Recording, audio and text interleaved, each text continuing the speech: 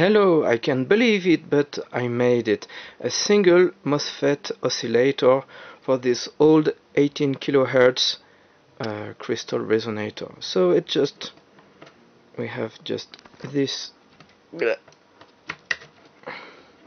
crystal with three pins and it's plugged into a circuit with two adjustable resistors and one MOSFET with a tiny capacitor for decoupling.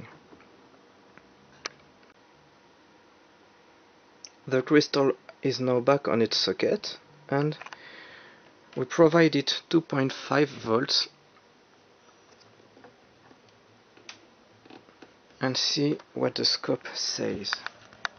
Well, it says nothing in the beginning, but we need to help it a bit by tapping, tapping gently on the glass and after a while